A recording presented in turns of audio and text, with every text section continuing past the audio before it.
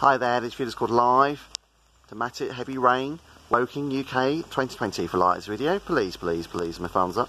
Time at the moment, digital and analog is 8.45am in the morning and it is the 19th of August 2020. So you're talking about heavy torrential rain and dramatic rain coming down across Woking town right this minute guys. This is quite stormy weather today. It's about very heavy stormy rain today and some strong winds from the southeast, about 20 miles per hour and then tomorrow it's about even stronger winds uh, coming from the southwest by 25 miles per hour. And then the Friday the um, 21st of August actually in the morning across England and Wales you're talking about 30 miles per hour 40 miles per hour inland and it might bring down some trees and branches because the trees are in full leaf at the moment I joke about that we have had this weather before in August 2019 last year and in the past at the Spanish Armada in the 15th to 16th century. So it's not unusual to get stormy weather in August. It is unusual, but it's not unusual. It's happened before in the past across the UK's historical history of weather.